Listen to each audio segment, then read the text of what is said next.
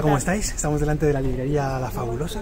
Vamos a, grabar uno de estos vídeos donde entramos a la librería, conocemos a la librera, le preguntamos que nos digan los libros que más le gustan y nos vamos a llevar los libros que podamos por 35 euros. Un momento, que pasa una moto.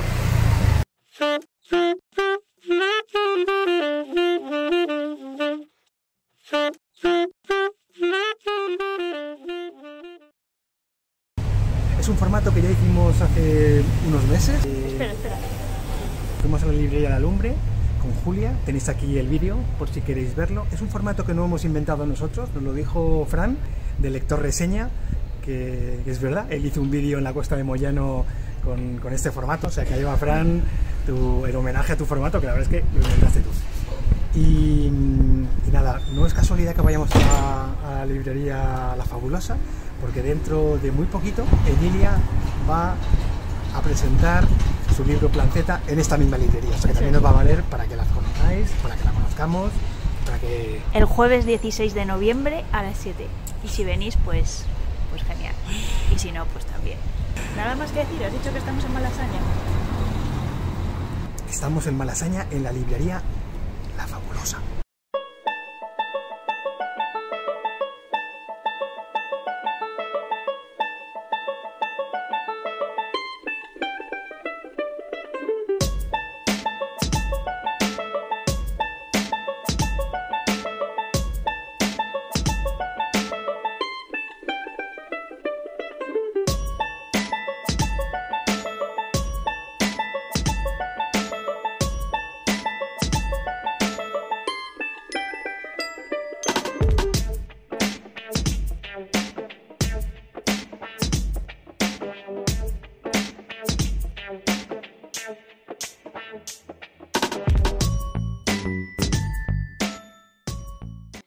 Alina, eres la librera de La Fabulosa.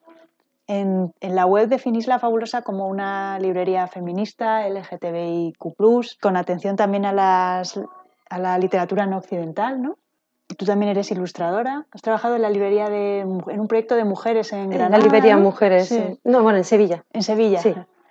La Fabulosa comenzó en, hace, en 2022. Sí, en junio de 2022. Tenéis eh, canal en TikTok, tenéis cuenta en Instagram. ¿Cómo va la digamos, conciliación con el trabajo en redes, el trabajo de librera? Bueno, teniendo en cuenta que soy yo la que hace absolutamente todo en la librería, desde el diseño gráfico hasta limpiar el váter, pasando por todo lo imaginable, hacer cuentas, hablar con los bancos, todo. Bueno, pues es un trabajo, si te digo la verdad, yo soy bastante mala consumidora y, creadora de contenido. antes de tener la librería, incluso cuando quería hacer algún proyecto de ilustración, llevar las redes era muy inconstante totalmente, ¿no? Ponía tres publicaciones en un día y luego no aparecía en tres meses. Así que con la librería me lo tomé como una parte de trabajo, o sea, me, me obligo.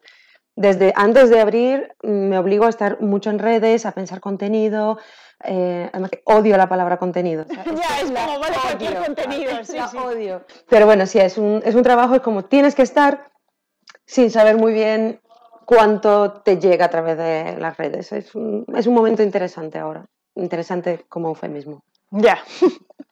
En la web también comentáis que la, o comentas que la librería La Fabulosa es una comunidad, es una escuela también. ¿En qué se traduce esto? Bueno, es que realmente mm, la librería es la tapadera. ¿vale? Eh, yo cuando pensé en este proyecto, realmente es algo que siempre me ha apetecido hacer. Desde que tengo como 18 años, siempre ha ido mutando, ¿no? De tener una galería, una librería, una escuela, un teatro, no sé, algo que gira en torno a una comunidad, a unos eventos y entonces, bueno, la librería es la parte más fácil de traducir a un negocio entendible. Una persona entra por la puerta, ve el libro, sabe a lo que me dedico y ya pues después hay otras dos salas en las que puedo meter todo lo que todo lo que quiera, lo que la gente quiera, lo que me ofrecen, presentaciones, talleres, eh, encuentros, clubes de lectura, Mm, hemos hecho aquí de todo y la idea es que se haga mucho más, así que rompo la cuarta pared para llamar, eh, llamar a todas las personas que tengan algún proyecto artístico, creativo, relacionado con libros, con arte, porque también hacemos exposiciones. Así aquí tenéis vuestro espacio y estamos abiertas a cualquier propuesta, al menos para considerarla y crear redes de, de colaboración.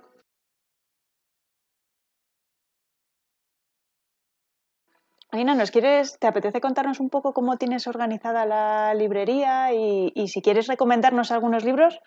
Eh, sí, mira, la librería es sobre todo de narrativa, la narrativa contemporánea. Eh, tengo muchos libros escritos por mujeres, es La cabra tira al monte y eso es lo que yo mejor controlo. Eh, mucha novela gráfica también. Entonces, lo que es la narrativa está organizada por regiones del mundo. Ujú. O sea, narrativa norteamericana, española, latinoamericana, asiática, europea, etc. Y luego pues hay un poco de ensayo, de feminismo, narrativa, que bueno, es un- una cosa que me he inventado yo, de narrativa relacionada con la naturaleza, eh, poesía, eh, algo de infantil. em, está organizada, pues bueno, va cambiando mucho, también te digo, si, si vi- vienes dentro de un par de semanas, la idea es que todo esto sea una sección de inglés. Me voy a traer libros en inglés. Esto es una cosa viva y yo Claro. cada tres o cuatro meses me rayo porque me parece que no están bien colocados los libros, lo cambio todo. Em, todavía estoy en el proceso de, de encontrar cómo organizarlo todo. Y si queréis que os recomiende algún libro, pues bueno, también contaros que, que aquí en La Fabulosa intentamos dar cabida a editoriales pequeñas, no tan conocidas, mm, las que nos da tiempo de leer o, bueno, las queremos incluir en el catálogo. Así que uno de los libros que os recomendaría es uno que me encanta, que se llama El cáncer que todos andamos buscando, eh, de Letty Diem Thuy, no sé si lo he dicho bien, es una No, no autora de origen vietnamita. Em, pero realmente la quiero, el libro es maravilloso, pero es por la editorial, una editorial que se llama Arde, son unos chicos de Barcelona, que más o menos tenemos la misma edad, nuestros proyectos, y, y la verdad que editan muy bien. Ahora mismo acaban de sacar otro libro de, de una escritora haitiana, ellos también intentan traer voces pues, de Corea, Vietnam, eh, Haití, escritoras que aquí no han sido traducidas nunca. Y ese libro de relatos es muy bueno, es muy fuerte, porque sobre todo se centra en las vivencias de las mujeres en, en la dictadura de Haití. Está muy bien escrito, la verdad es muy, muy bonito. O sea, todo lo que hace esta editorial está muy bien. Y luego tenemos otra editorial muy pequeña que se llama Ediciones France. Aquí tengo uno que son de Madrid y hacen estas ediciones tan preciosas, que vienen además numeradas y la verdad que también editan entre poesía, ensayo y narrativa, editan cosas muy, muy bonitas y tienen un libro que, si no me equivoco, se llama Los Leones de Bronce, ahora lo miramos, que es también un libro de relatos de un autor arge- argentino que bueno, pues es muy heredero de Mariana Enríquez y es esta cosa de terror sobrenatural mezclado con el terror cotidiano de los barrios más pobres y de la dictadura. Mm. O sea, igual estos dos, por, por recomendaros algo que se salga de, Claro, claro. de lo habitual, de lo que veis en todos lados. Luego, evidentemente, pues aquí veis que, pues que tenemos muchas editoriales independientes, somos muy, muy fanas, todo Grupo Contexto, Blacky Books, Almadía. eh, creemos que hacen un trabajo muy interesante ahora mismo en España. De hecho, creo que son las publicaciones más interesantes. Así que intentamos darles mucha visibilidad, mucho espacio y hacer organizar eventos. Bueno, Aristas Martínez, eh, estoy muy contenta de hacer algo por- con, con ellas al final. Eh, aquí arriba tenemos una editorial que se llama Muñeca Infinita, No sé. así que es bueno, pues un, un edificio muy literario también.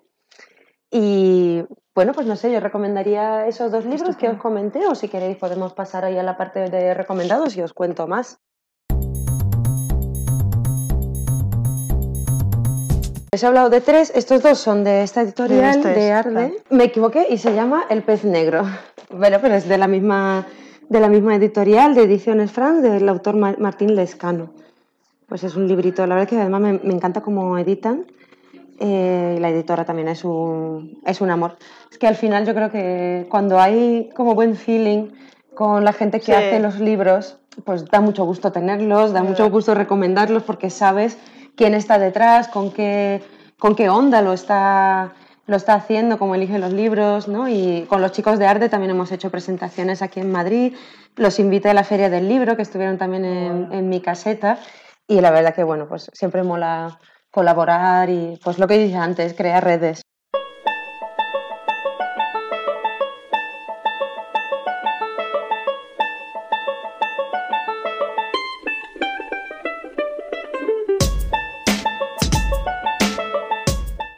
Este de Ultrasound, este es increíble. ¿Sí? Increíble, yo creo que es el mejor cómic del año. ¿eh?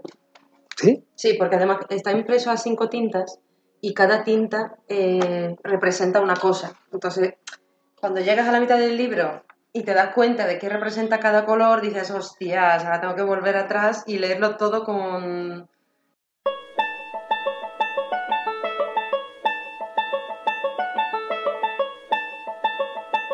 De la resta de Lea Trabuco que de Lucía Berlín, que ha sacado el libro.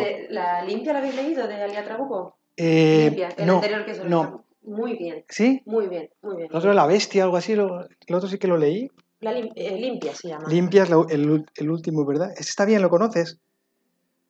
Yo- A la resta hablaba yo. Vale. Claro, es que aquí en España, de hecho, la resta es anterior a limpia. Vale.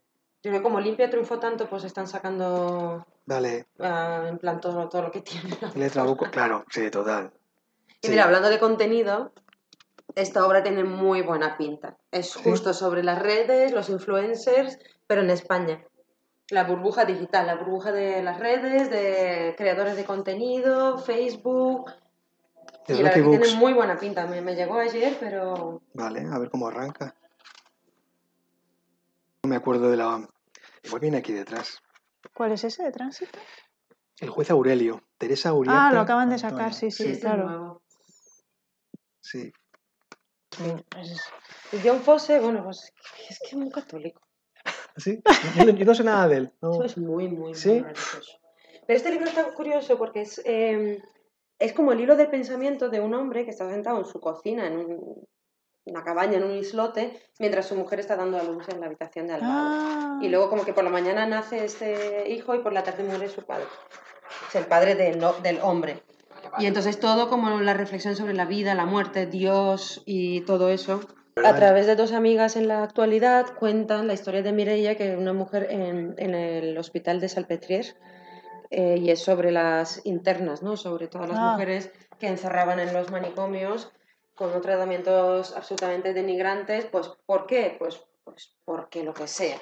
Una fábula victoriana, o sea, en un Lon- Londres victoriano distópico, Qué bonita ilustración que bella. sobre es de una mansión que está situada en medio de un vertedero bueno, de hecho aquí viene como la, la mansión Ah, sí. y todos los personajes tienen una relación muy curiosa con los objetos cada uno tiene un objeto un tapón de bañera universal es este personaje no luego hay otros que tienen que tienen otro no se pueden separar jamás de ese, de ese objeto y nada la historia está contada entre eh, un chico adolescente de esa familia de, de ricos que lo tienen, se tiene que casar con una prima suya, no sé qué, y luego una chica, esta, que entra a trabajar ahí de, de sirvienta. Y bueno, o sea, es, es de estas lecturas como cuando leíamos como cuando éramos adolescentes, es un poco como Harry Potter, Sí, sí, sí, pero sí. mejor escrito, Ay, no tan infantil. Me mira, me lo gocé. ¿Sí? O sea, de esto es como para disfrutar de la lectura, ¿no? O sea, es como pues una fábula, no tiene nada que ver con el mundo real, pero a la vez tiene su crítica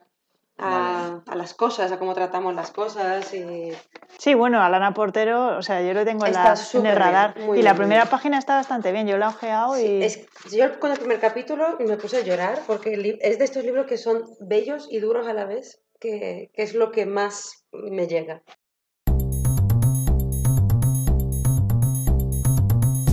Mejor así. ¿Qué tal ahí? ¿Algo bien? ¿Me encuadre?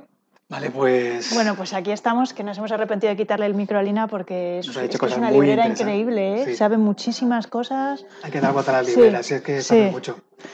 Vale, ¿qué libro nos han dicho? Venga, vamos a ver. Vale, sí, vamos a mostrarnos. bueno, la cosa, como sabéis, vamos a recordar un poco el juego. La cosa es que tenemos que elegir entre los libros que hemos cogido nosotros de la librería de la Fabulosa y los libros que nos ha ¿Recomendado Lina? recomendado Alina. Vamos a seleccionar uno, dos o tres. No podemos gastarnos más de 35 euros. Eso, Eso es, es. Como, como el tope de los que los vamos a llevar a casa. Que no sé, vamos a ver lo complicado porque son libros buenos, pero bueno, veremos a ver lo que, lo que da. ¿Empezamos con los de Alina entonces? Sí, Venga. El gánster que todos andamos buscando. En esta editorial Arde, que yo no conocía y que parece que da voces a, a gente no occidental. ¿no? En concreto nos ha contado Alina que este es un, un texto, creo que de Vietnam, era la... Una vietnamita, ¿no? Sí, Jo, ella- la, la, la portada es preciosa. es maravillosa la no, edición. ¿eh? tiene, no tiene ilustración, no tiene foto, no. tiene nada. Es qué bonito. Quiero abrirlo ya. Dale, dale, dale. 17,90. Que desgraciadamente En este vídeo hay que tener en cuenta eso. Bueno, y en la vida en general. Linda vista, con sus hileras de casas amarillas, es hasta donde la corriente finalmente nos arrastró. Antes de Linda Vista vivimos en el apartamento verde entre la calle tal. Antes del apartamento verde vivimos en el apartamento rojo. Antes de... Me gusta.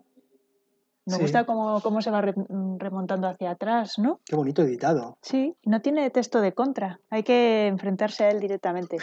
Lo mejor. ¿Tú conocías la editorial? ¿Yo qué va? Mm, Tú, tú estás aquí. Segundo libro que nos ha aconsejado Alina, El pez negro. Son seis relatos. Mirad qué bonito. editado por una editorial de Madrid, nos ha dicho, que tampoco conocíamos. ¿no? Qué bonito el formato, que así Sí. tan alargado. ¿No vas a decir el nombre de la editorial? Lo estoy buscando, pero no, Ah. no me lo quiero inventar. Editorial Franz. Y, qué bonito, qué bonito, qué bonita la edición. El autor, Martín Lezcano. Buenos Aires, de 1996. Tampoco lo conocíamos. No, sí que es un estilo así semejante a Mariana Enríquez, con ese juego de, terror bueno. cotidiano. 10 euros. Bien.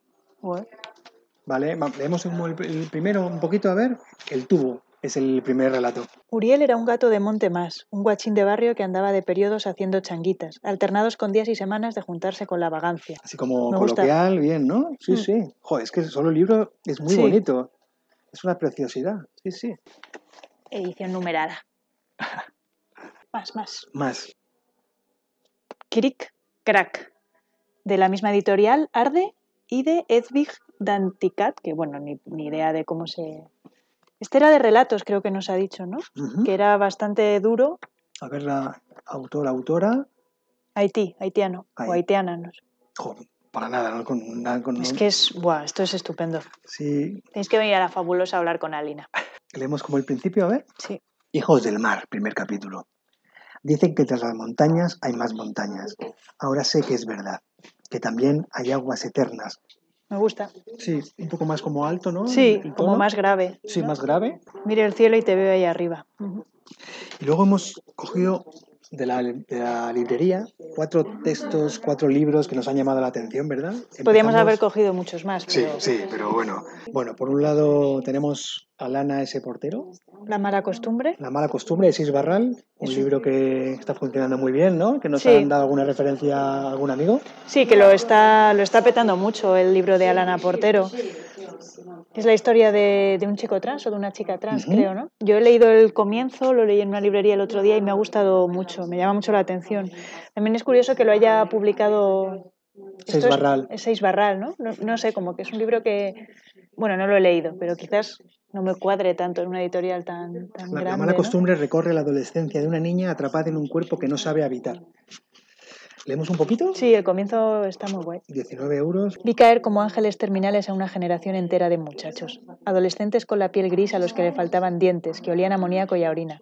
Flaqueaban con sus escorzos la salida del metro de San Blas en la calle Amposta y las praderitas del Parque El Paraíso, como, ¿ves? Eh, ¿No te recuerda a Alan Ginsberg? Al, al poema de Ginsberg. Es Es, que es ese... Y tiene esa sonoridad. Sí, además la, la- la figura del Cristo, Sí. junto a lo cotidiano. Sí, Está bien, ¿no? Tiene buena... sí, tiene muy buena pinta este libro. Vale. Muy buena pinta. John Fosse, último premio Nobel. Por lo visto era muy, muy religioso, nos han chivado. No sabíamos, yo no estoy nada puesta en John Fosse. Tú sí has mirado un poco, ¿no? Mira un poquito, me interesa su trilogía. Tiene una heptalogía y la trilogía eh, está muy bien, son tres textos cortos, en realidad todo el libro es bastante cortito y ese me interesaba, lo vi y me pareció que empezaba bien. Pero este de mañana y tarde nos lo ha comentado también Alina que está muy bien. Vamos a ver cómo empieza mañana y tarde. Esa es una novela muy corta en realidad, se ha Mm. publicado por Nórdica y de Conatus. La de Conatus debía tener los derechos, ¿no? Y lo han publicado ahí. Parece una cosa como muy sensual, ¿no? Muy, muy, muy, de, muy de sensaciones. Muy de acuerdo. Más agua caliente, Olay, dice la vieja matrona. Venga, no te quedes ahí parado en la puerta de la cocina. Ya, ya, dice Olay. Y nota un frío y un calor extenderse por su piel y la piel se le eriza y una felicidad recorre todo lo suyo y se le sale por los ojos en forma de lágrimas cuando corre hacia el fogón. Buah, es bueno, ¿eh? Sí, Es bueno el juego ese de la mm, sin comas ahí y las repeticiones con el i. Uy, a mí me gusta, ¿eh? A mí este me gusta. fíjate.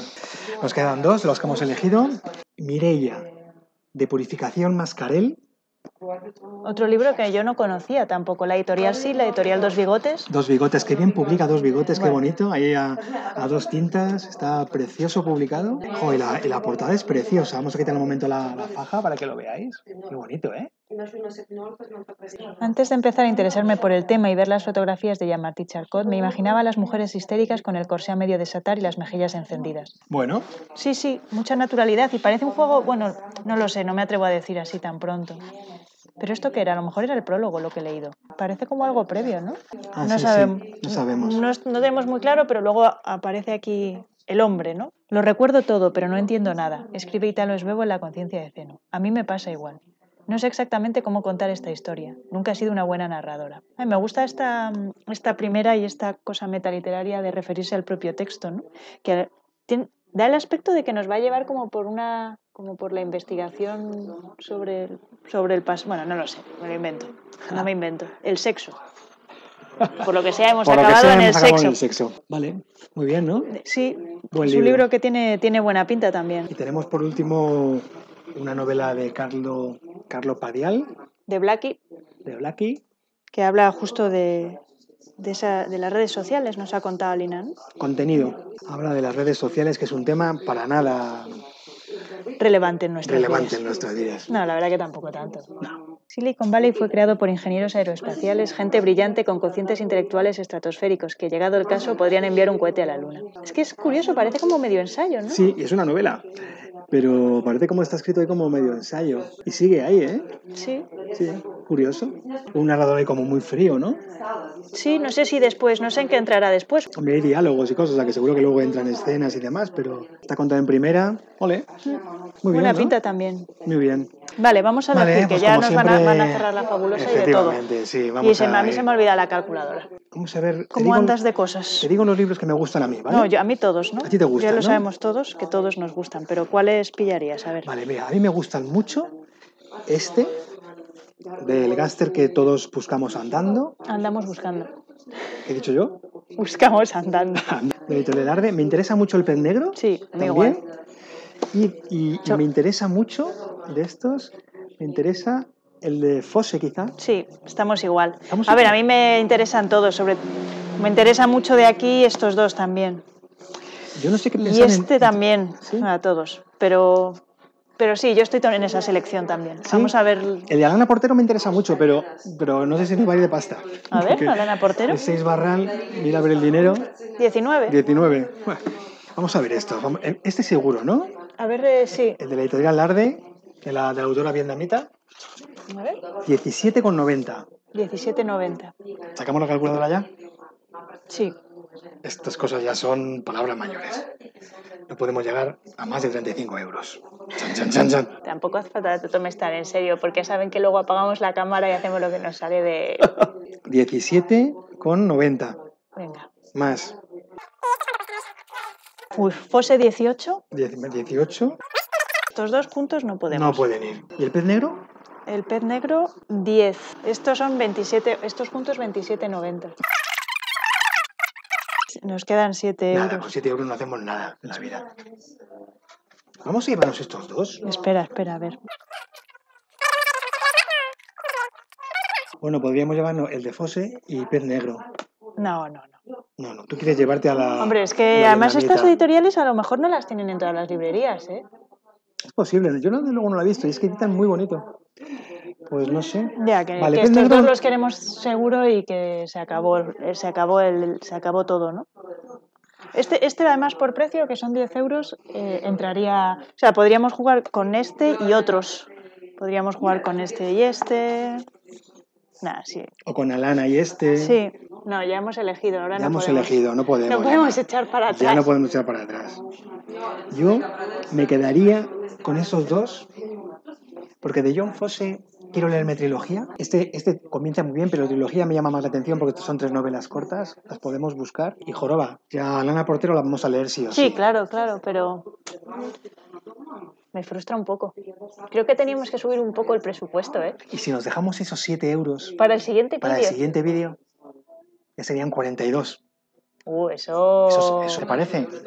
Sí. Venga, vale, me parece buen juego. Nos vamos a llevar entonces el pez negro de Martín Lezcano, Editorial Franz. un libro precioso por fuera y creemos que precioso por dentro, Y el gángster que todos andamos buscando de una persona, de una persona. porque tiene un nombre que no, no voy a intentar decirlo tampoco. Y Etidiem Tui, Bueno, traducción de Mariano Tomora, Editorial Arde. Dejamos de molestar aquí ya en la librería. Nos llevamos tus... Mis recomendaciones Sí. al final, ¿no? sí, al final lo hemos hecho mucho. Sí, no hemos, Mucho hemos hecho como que, pero teníamos claro en realidad que nos íbamos a llevar esos.